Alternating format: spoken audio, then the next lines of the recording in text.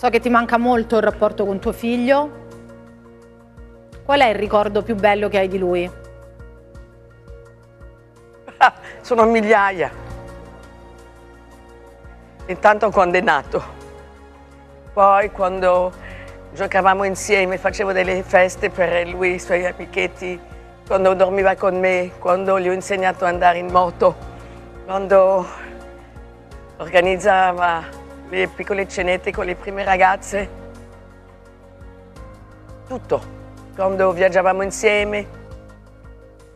Sei nonna? Hai dei nipoti? Sì. Ai quali sei molto legata? Sì. Riesci a vederli? Sì. Adesso sì.